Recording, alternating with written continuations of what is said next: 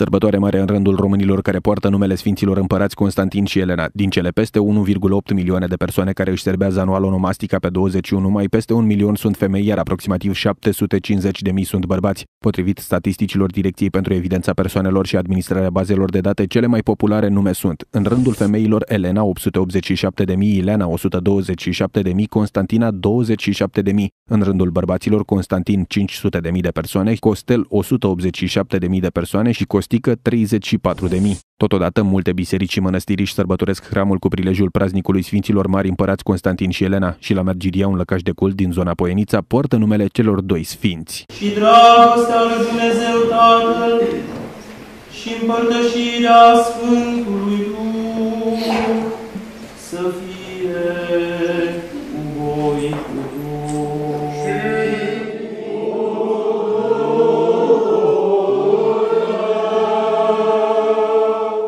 Este al patrulea hram pe care îl, îl uh, oficiem la parohia noastră. Este o parohie nou înființată în anul 2009, am împlinit trei ani jumătate și anul acesta ne bucurăm împreună cu credincioșii din uh, partea de nord a orașului Megidia și mai, uh, mai precis în zona Imumului. Zeci de credincioși au venit la hramul bisericii din zona de nord a municipiului Medgidia. Este de bun augur faptul că s-a mai ridicat uh, biserica și în zona aceasta? Da, e foarte bună, că nu aveam decât o singură biserică în centrul ăsta.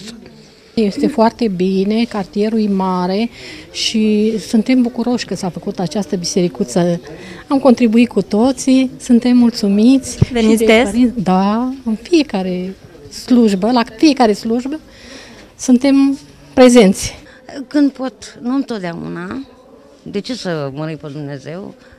Dar vin.